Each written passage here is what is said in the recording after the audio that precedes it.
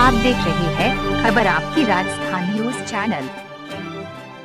शामगढ़ में आज चार बजे के करीब सभी समाज के लोग शिव मंदिर से होते हुए रैली रूप में शामगढ़ थाने में समस्त जैन समाज ही नहीं बल्कि हिंदू समाज सभी लोग महिला पुरुष मिलकर समाधिस्थ क्रांतिकारी मुनि राष्ट्र संत 108 तरुण सागर जी महाराज के ऊपर नीलेश सागर निडर व्यक्ति द्वारा अभर्द टिप्पणी सोशल मीडिया पर की गई। इस बात से जैन समाज जैव हिंदू समाज ने ऐसे व्यक्ति की घोर निंदा करते हुए कड़ी से कड़ी सजा की मांग की है इसमें अर्जुन नामक युवक ने भी टिप्पणी की है। समाज के लोगों द्वारा निंदा करते हुए इन लोगों पर कार्यवाही। की मांग की गई, वही जैन समाज की महिलाओं द्वारा कहा गया कि ऐसे संत का अपमान करने वाले लोगों के खिलाफ कार्यवाही तय होना चाहिए। परंतु ये भी बोला कि उन तपस्वी महाराज तरुण सागर जी की जैसी तपस्या करके देखो, तब पता चलेगा कि संत क्या होते हैं और कैसे जीवन जीते हैं, कितनी तपस्या करना पड़ती सब कुछ त्याग करके बनते हैं। संत सभी लोगों ने मिलकर शामगढ़ थाने में पहुंचकर जिलाधीश के नाम ज्ञापन तहसीलदार मुया को सौंप इन लोगों के खिलाफ सख्त ऐसी सख्त कार्यवाही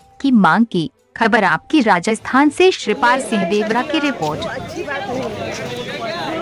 सभी के लिए सम्मान नहीं है। गुरु सबके लिए बराबर है और तुम लोगों को इतना सोचना चाहिए कि अपन गुरु की टिप्पणी करने से पहले सोचे तो सही कि गुरु क्या चीज़ है।